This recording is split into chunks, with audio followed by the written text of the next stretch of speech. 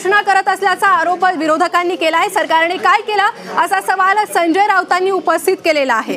तर एकोणपन्नास हजार कोटी कुठे आहेत? जे मंजूर केले ते एकोणपन्नास हजार कोटी कुठे आहेत? असा देखील सवाल यावेळी त्यांनी केला आहे. तर दोन हजार सोळाला पैशांचं काय झालं? असं देखील त्यांनी म्हटलंय.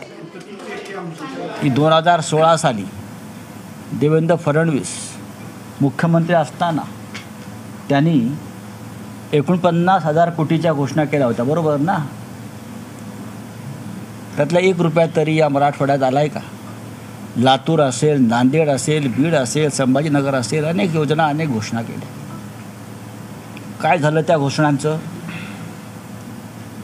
सव्वा लाख लोकांना दूध डेअरीच्या प्रकल्पातून रोजगार देण्याची योजना फडणवीस फडणवीसांनी जाहीर केली होती. कुठे आहे?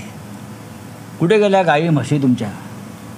का गेल्या तुमच्या गोमांस भक्षक संघ कार्यकर्त्यांकडे. दोन हजार चौदामध्ये त्यावेळच्या सरकार नवीन सरकार आली फडणवीसांच्या नेतृत्वामध्ये. त्यावेळेस एकोणपन्नास हजार आठशे कोटीचं पॅकेज घोषित केलं होतं.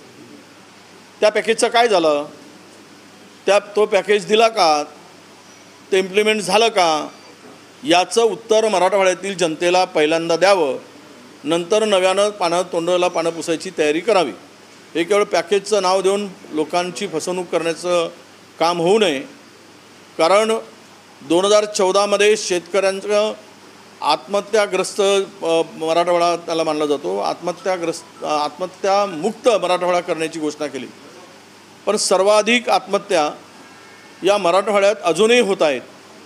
याचाच अर्थ असा आहे की या पॅकेज न दिलं न दिल्याचा परिणाम तर असेल कदाचित परंतु पूर्ण मराठवाड्याकडे शासनाचं दुर्लक्ष आहे.